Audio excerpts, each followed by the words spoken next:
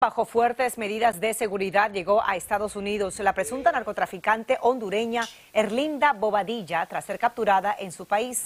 Tras su extradición, la mujer de 61 años de edad comparecerá ante un juez en Virginia para conocer los cargos que deberá enfrentar.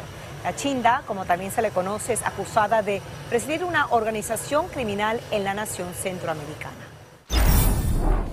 Oculto dentro de dos camiones con doble fondo, descubrieron uno de los mayores cargamentos de cocaína en la historia de la Ciudad de México.